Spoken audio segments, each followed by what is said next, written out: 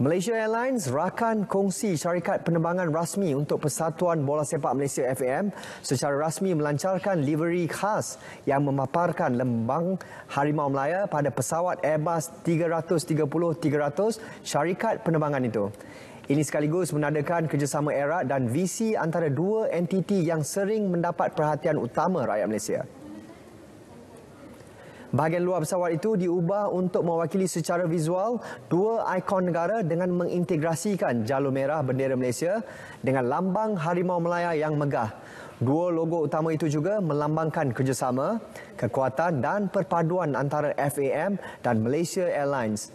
Reka bentuk livery tersebut dihasilkan pensyarah Kolej Seni Kreatif Universiti Teknologi Mara dengan kerjasama FAM. Majlis simbolik pelancaran telah diadakan di Kompleks Kejuruteraan Syarikat Penerbangan di Sepang, Selangor. Ia telah disempurnakan Presiden FAM Datuk Hamidin Muhammad Amin dan Ketua Pegawai Eksekutif Kumpulan Malaysia Airlines Berhad, Kapten Izham Ismail.